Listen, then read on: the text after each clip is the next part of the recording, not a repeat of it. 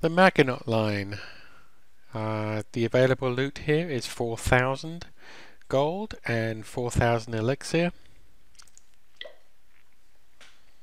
Now the strategy here is we want to send in uh, a barbarian on each of these cannons uh, because there's five traps around each one. There's like five bombs there, so we just want to send in one barbarian to uh, to trigger the traps. So we'll trigger those. Oh, wrong place. And trigger those ones.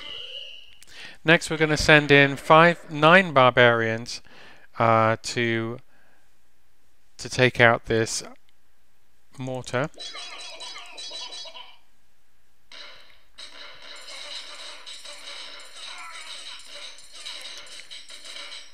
Couple of them are going to get taken out before they manage it.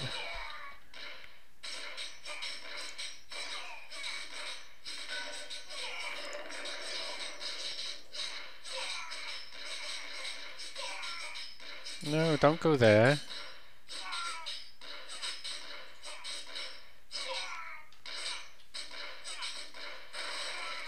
And next we're going to send in seven barbarians on either cannon.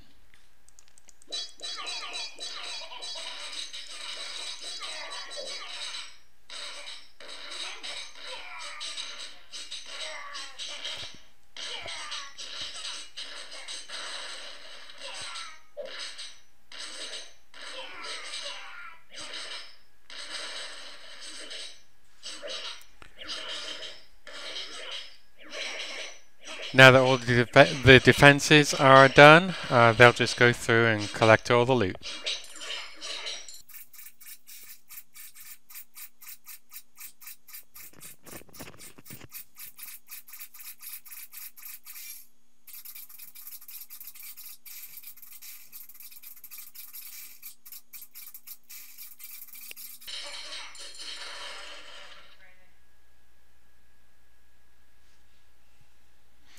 There you have it, the Maginot line, level 9.